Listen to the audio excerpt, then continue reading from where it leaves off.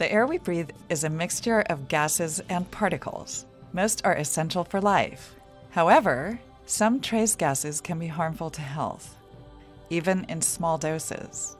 In this chapter, you will learn about the components of the air you breathe, how they got there, how they can be removed, and how they can impact human health, for better or for worse. Have you thought about the air you breathe every day, every night?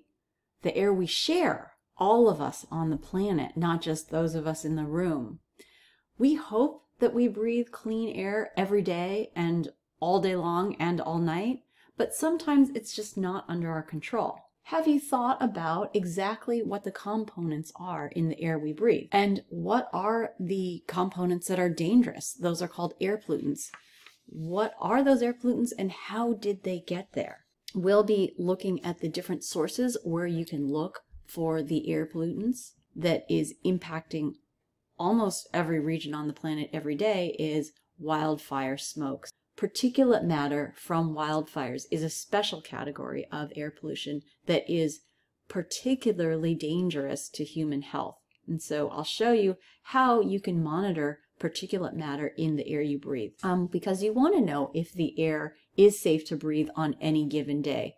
Now, one place you can look online is a website called purpleair.com. Every one of us leaves an impact on the air. All 7 billion humans on the planet. We share this air, but we also can make a positive impact or a negative impact on the air. Just as your daily activities, when you're walking, let's say on the sand, you leave footprints in the sand.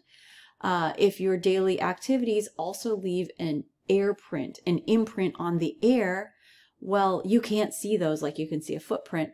For instance, if you drove here, you used a car, well, a car takes in air and uses the oxygen from the air and releases in the exhaust carbon dioxide and also some air pollutants. So driving a standard combustion engine car leads to air pollution. On the flip side, if you plant a tree, uh, you are contributing to better air because plants take in carbon dioxide from the atmosphere, from the air, and release oxygen. Several types of plants also take in air pollutants and clean the air of air pollutants your activities ha- can have a direct impact on air pollution, either helping it or hurting it.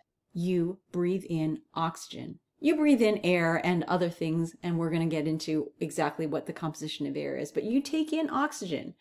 You take in air to the tune of about 3,000 gallons per day. And then you exhale.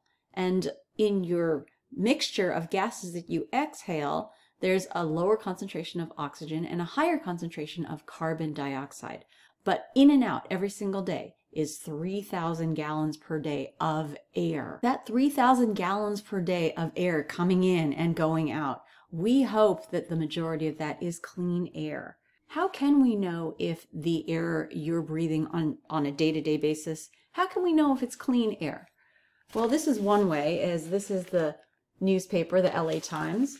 And there's a section in the LA Times that is called the California section. This is local news and also sports, local sports, regional sports, and weather. And the weather includes what temperature it's going to be. So sometimes you might use the weather to decide how to plan your day. Are you going to wear shorts? Are you going to bring an umbrella? Um, and then what is included in the weather is an air quality report, which is all as important, if not more important than the temperature um, and weather, is the air quality. Are you going to be outside for most of the day? Well, what's that air that you're going to be breathing outdoors going to be like? Well, that is indicated on this section uh, that is next to the weather section. And I'll show you some other sources online that you can find the air quality for the day.